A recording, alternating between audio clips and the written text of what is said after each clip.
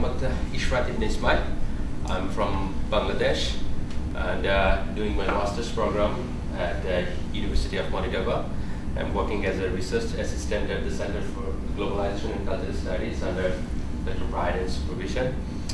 Uh, I'm particularly interested uh, uh, in this project uh, uh, uh, because the kind of issues which are very important for these projects like multilingualism, bilingualism, cross-cultural understanding, and uh, national and international differences, uh, uh, somewhere how you know kind of you know literacy education is working is same in, in, in my country as well.